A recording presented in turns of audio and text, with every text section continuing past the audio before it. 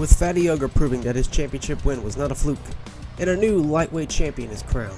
We also need to decide who the new number one contender for the World Championship will be at RDW's Summer Bash, July 3rd, 2016.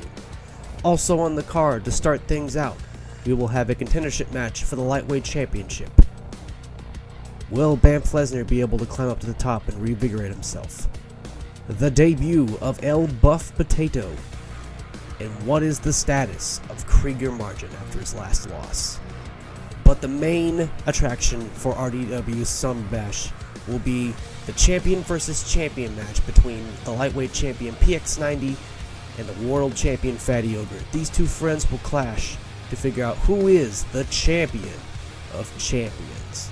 And the main event will be best friends once again, Harvey Beardman taking on Venom in RDW's very first ever 30 minute Iron Man match, where the winner will face Phatty Ogre at the next pay per view for the World Championship. Tonight is a night to show new records and new beginnings and friendships that may or may not survive. Summer Bash. Will everything stay the same between these four individuals, or will there be cracks amongst the friendship between everyone?